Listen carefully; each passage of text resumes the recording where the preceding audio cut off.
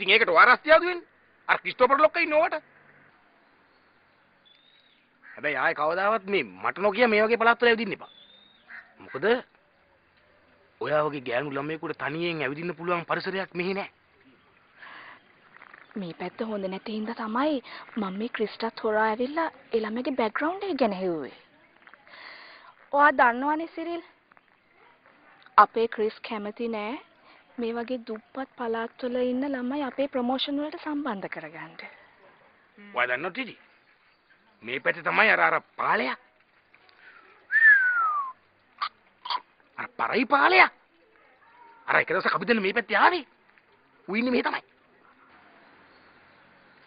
ආ ඒ මේ පැත්තද?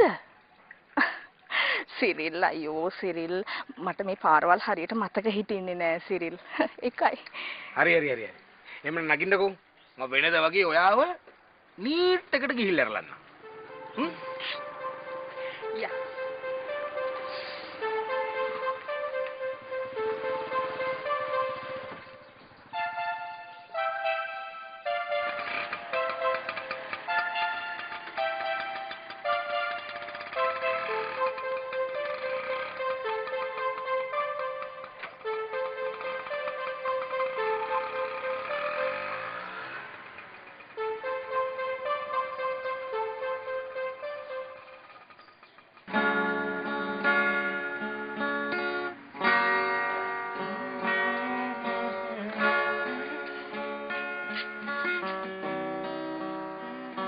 දුමින්දු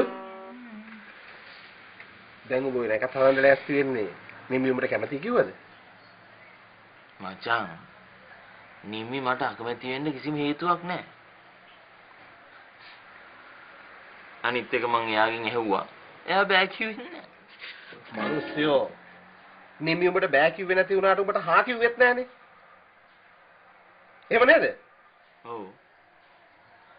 මේ සිගරටම කලින් ඔබ කරන්න ඕනේ ගිහිල්ලා නිම්මිගේ කැමැත්ත අරගන්න එක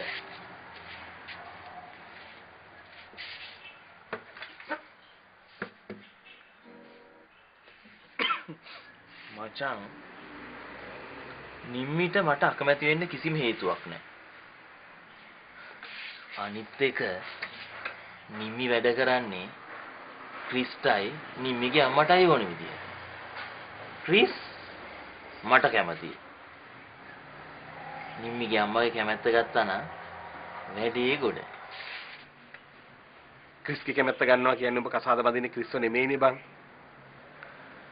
මං කියන දේ චුට්ටක් තේරුම් ගනින් අද සමාජය ගොඩක් වෙනස්. උඹ කසාද බැඳලා ජීවත් වෙන්න ඕනේ නිම්මිත් එක්ක මිසක් වෙන කවුරුත් එක්කවත් නෙවෙයි. උඹයි නිම්මී අතර ලොකු විශ්වාසයක් තියෙන්න ඕනේ. කසාද බඳිනවා කියන්නේ කඩේකට ගිහිල්ලා පාංගිඩියක් ගන්නවා වගේ වැඩක් නෙවෙයි බං මට උඹ කියන දේ තේරෙනවා සාලී. මට දැනෙන විදියට නිම්මි මට අකමැති වෙන්න කොහෙත්ම හේතුවක් නැහැ. හරි. වෙන ඕනෑම දෙයක් වෙච්චාවේ. මං හිතේනවා ඔබත් එක්ක නිම්මිලේ අම්මා ගෙදර යන්න. හැබැයි මං එන්නේ මේ වැඩේ ගැන හිතලා නෙවෙයි. මං ඕනෙම වැඩකට කතා කරපුවාම ඔබ බෑ කියන්නේ නැතුව මාත් එක්ක එන හින්දා. හැබැයි දුමින්දු ඔබ එකක් මතක තියාගනින්. ඔබ මේ වැඩේට බහින්න යන්නේ වැරදි කෙලවරක. අපි try කරලා බලමු. හැබැයි මේ වැඩේ ගැස්සුනොත් සාලිය මගේ ජීවිත කාලයෙන් මං ඉන්නේ තනියම.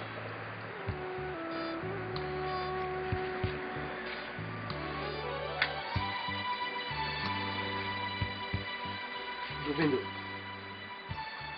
දෙමව්පියන්ගේ කැමැත්ත අරගෙන අකමැති කෙනෙක්ව කසාද බැඳේ දැන් අවුරුදු ගානකට ඉස්සර. දැන් කාලේ ඊට වැඩිය වෙනස්. අලුත් විදිහට හිතන්න පුරුදු වෙනවා. දෙකක් දැනගනි. කොහොම වුණත් මම මේ ගමන යන්න දෙන්නේ ඔබට තියෙන ආදරේ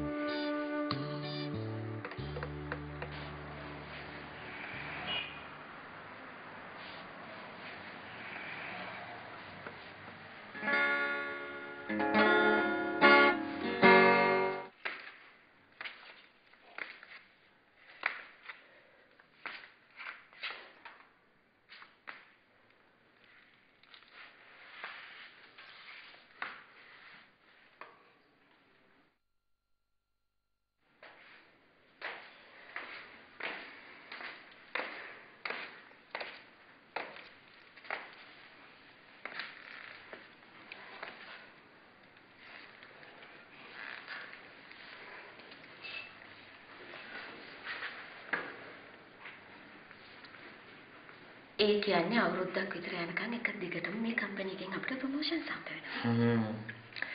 I can't believe පුණි. මේ තරම් ලොකු කම්පැනි එකකින් මේ තරම් හොඳ කොන්ට්‍රැක්ට් එකක් හම්බුණා කියලා හිතා ගන්නවත් බැහැ.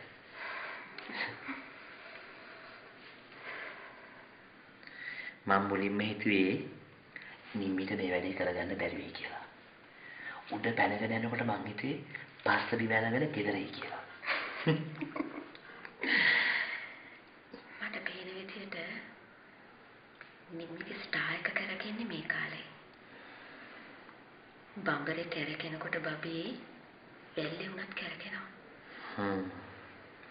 පූනි, what do you think? අපි ඉක්මන් වුණා වැඩිද?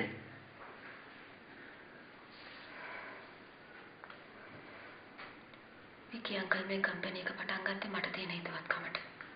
මං කියපු නිසා. අන්තිමට ඒකේ බෙනිෆිට් එක යන්නේ නිම්මිට. කාට බෙනිෆිට් එක ගියත් දැන් ඉතින් කතා කරලා වැඩක් නැහැනේ. මගේ විකී අංකල් මගේ විකී අංකල් කියලා වික්‍රම නායකව කරේ තියාගත්ත ඔයානේ. පුංචි බටු ඇටි පුංචි බටු ඇටි කී කී අන්තිමට මිනිහා මොකද්ද කරේ? මාව නිකම්ම මැනේජර් පෝස්ට් එකකට දාලා නිමිට ඩිරෙක්ටර් පෝස්ට් එකක් දුන්නා. මට වෙලාවකට හිතෙනවා මං අර කරගෙන හිටියේ ෆ්‍රෝඩ් ප්‍රොමෝෂන් කරගෙන හිටියනම් ඉවරයි කියලා. ඒක මීට හොඳයි.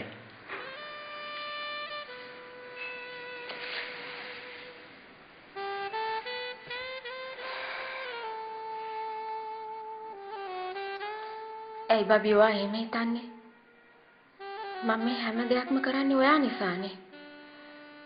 විකි අංකල්ට මම ඒ වගේ යෝජනාවක් ගෙනාස්තෝ හින්දා. බට් අපි බලාපොරොත්තු වෙන විදිහට වැඩේ කෙරුන්නේ නෑනේ පූනි. හොඳයි බලමුකෝ බබි. මේ හැම දෙයකම අයිතිය නිම්මිට පවරලා වැඩේ අනාගත්තු දවසට මම පෙන්වන්නම් විකි අංකල්ට එයාගේ පුංචි බටුවැටේගේ තරම කොහොමද කියලා.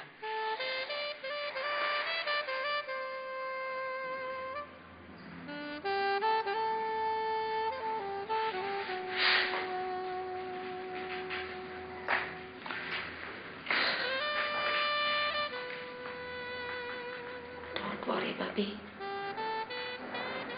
ඔයාට මොන දේ නැති වුණත් පෝනේ